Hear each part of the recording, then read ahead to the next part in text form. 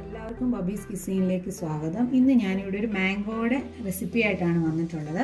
നമ്മൾ ചൂട് സമയത്ത് കുടിക്കാനും നോയമ്പ് മുറിക്കുന്ന സമയത്ത് കുടിക്കാനും ഒക്കെ പറ്റിയ വളരെ നല്ലൊരു ഡ്രിങ്കാണ് വളരെ പെട്ടെന്ന് തന്നെ നമുക്ക് തയ്യാറാക്കി എടുക്കാൻ പറ്റും. അപ്പം നിങ്ങളെല്ലാവരും ഇതൊന്ന് ട്രൈ ചെയ്ത് നോക്കണം.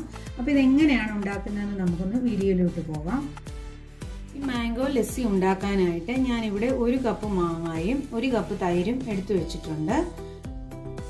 ഇതൊന്ന് അടിച്ചെടുക്കാനായിട്ട് ഞാനിവിടെ ഒരു മിക്സിയുടെ ജാർ എടുത്തിട്ടുണ്ട്. ഇതിനകത്തേക്ക് ഞാൻ ആദ്യം കുറച്ച് ഐസ് ക്യൂബ്സ് ഇട്ട് കൊടുക്കുകയാണ്.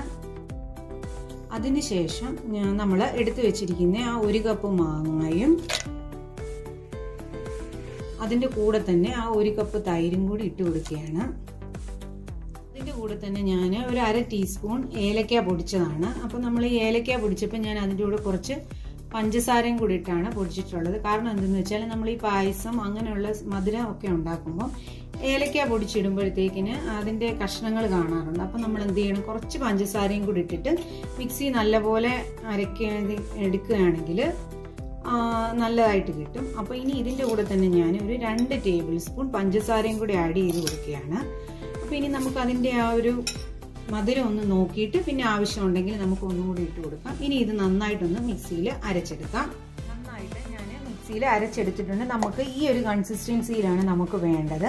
ഇനി ഇത് നമുക്കൊരു ഗ്ലാസ്സിലേക്ക് മാറ്റാം. അപ്പം കുറച്ചും കൂടി ലൂസ് ആക്കണമെന്നുണ്ടെങ്കിൽ നിങ്ങൾ കുറച്ച് വെള്ളമോ അല്ലെ ഐസ് ക്യൂബ്സോ എന്തെങ്കിലും ആഡ് ചെയ്ത് കൊടുക്കാം. ഇവിടെ ഇപ്പം ഞങ്ങൾക്ക് എല്ലാവർക്കും ഇഷ്ടം ഈ ഒരു കൺസിസ്റ്റൻസിയാണ്. അപ്പോൾ അതുകൊണ്ടാണ് ഞാൻ ഇങ്ങനെ എടുത്തിട്ടുള്ളത്.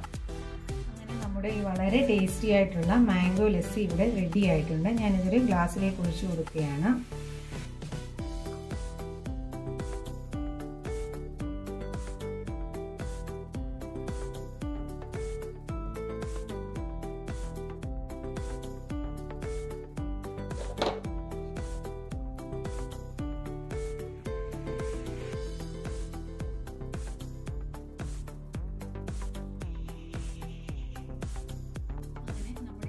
ലസ്സി ഇവിടെ റെഡി ആയിട്ടുണ്ട്. നിങ്ങൾ എല്ലാവരും ഇതൊന്ന് ട്രൈ ചെയ്ത് നോക്കണം.